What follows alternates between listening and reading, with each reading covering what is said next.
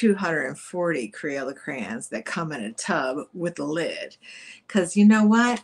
The only thing that I don't like is when crayons break and they don't fit back in the box or when the box falls apart. Oh my gosh.